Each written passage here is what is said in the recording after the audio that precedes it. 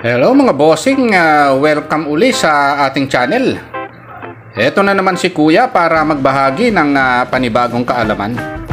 Ang pag-aaralan po natin sa bidyong ito ay ang tungkol sa marble at saka sa vitrified tiles. Ito pong ah, marble at saka vitrified tiles sa isa po sa mga ah, pinakamadalas ah, gamitin no Ah, sa pagpapaflooring ng ating ah, bahay. Lalo na po pag ah, maganda-ganda po yung ah, budget natin no. Napakaganda po at elegante ng ah, dalawang ah, materialis na ito.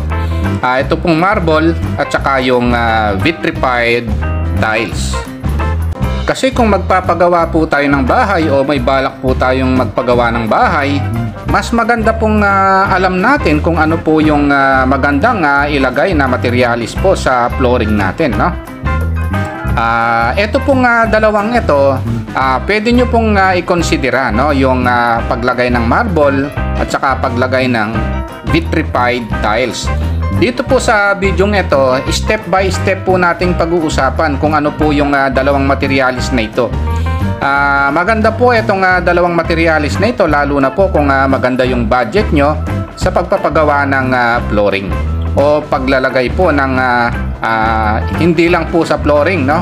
Pwedeng ilagay yung marble at saka yung ah, vitrified tiles no? Tingnan po natin kung saang lugar pa po pwedeng ilagay yung marble at saka vitrified tiles kaya sana po magmula sa umpisa hanggang sa dulo panoorin nyo po itong bidyong ito ang una po nating ah, pag-aaralan mga bossing no ay ang ah, sumisikat ngayon na tiles no, yung itong ah, vitrified tile no.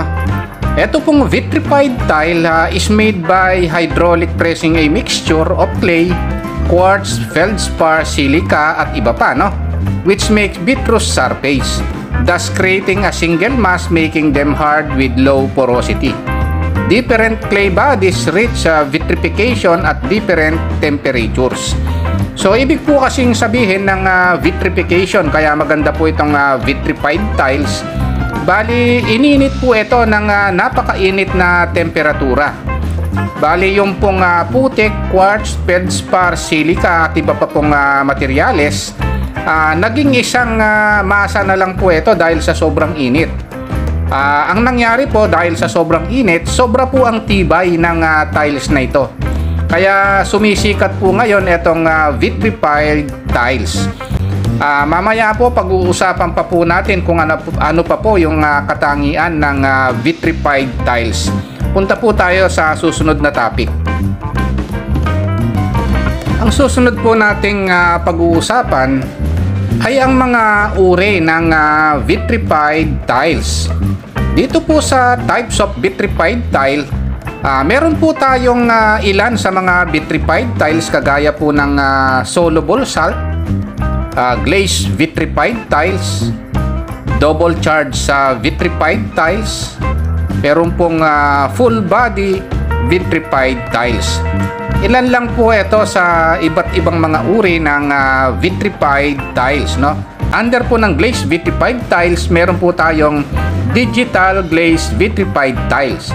Meron din po tayong polished glazed vitrified tiles. Under naman po ng ah, double charge vitrified tiles, meron tayong double charge polished vitrified tiles. Ito po yung mga uri no ng ah, vitrified tiles. Ah, kaya po napakaganda nito at marami pa pong ibang ah, vitrified tiles no. Ilan lang po ito no.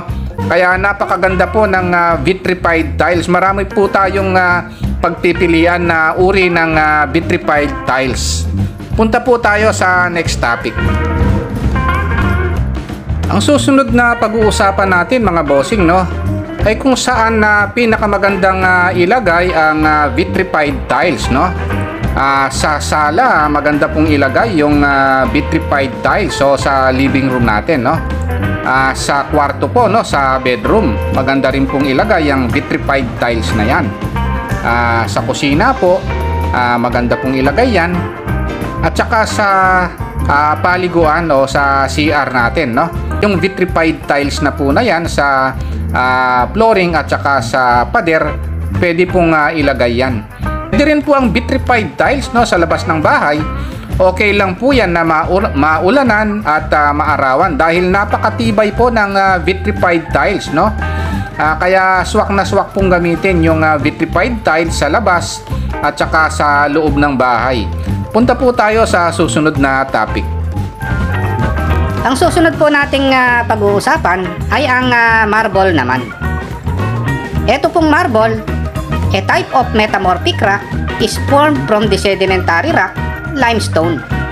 Isa po palang ah, limestone ang ah, marble. Na, kaya ito pong ah, marble, isa rin po ito sa pinakamagandang bato at ah, pinakamatibay.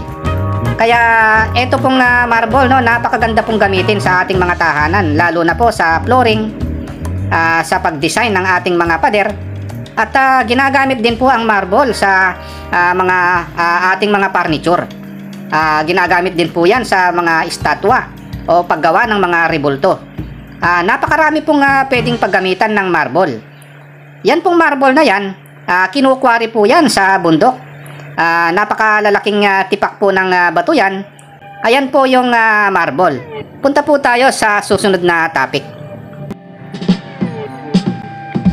Ang susunod po nating ah, topic mga bossing. Bale, pagkatapos pong uh, makwari sa bundok, ah, ibibiyahe po yan, yung ah, tipak ng ah, marble.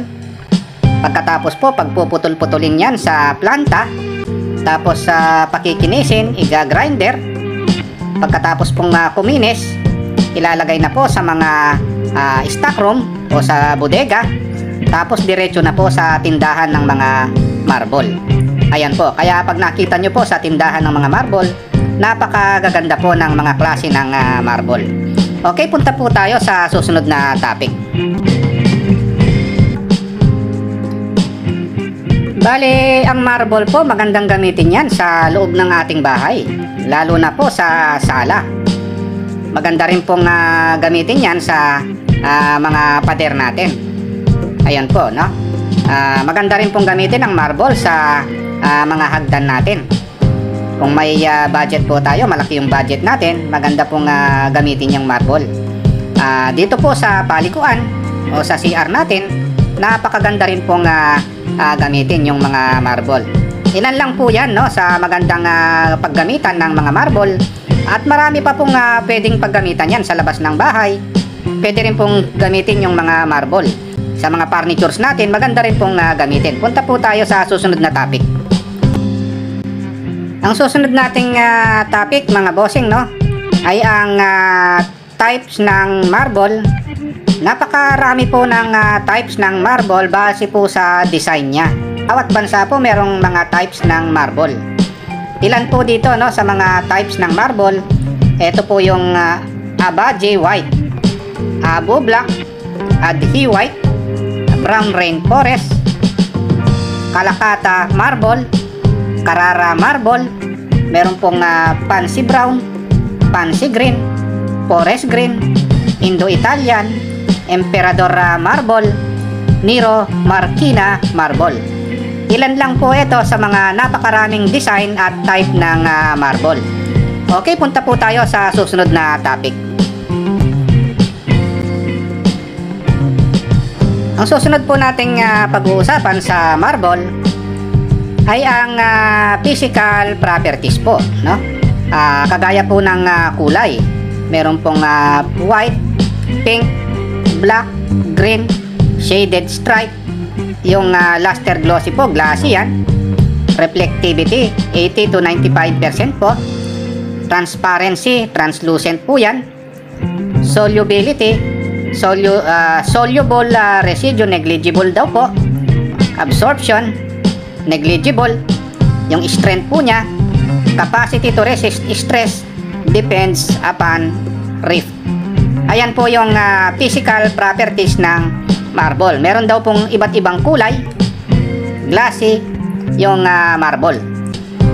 Kaya napakaganda pong gamitin ng ah, marble.